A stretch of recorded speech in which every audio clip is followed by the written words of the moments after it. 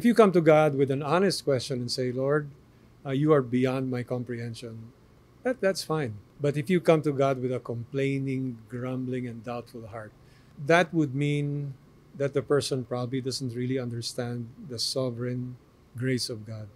And that person needs to go back and really study what does that mean. Now, if the person says, God is not fair to save this awful or evil person, I mean, who are we to judge, right? We're all destined to the same fiery hell, regardless of what our sin is.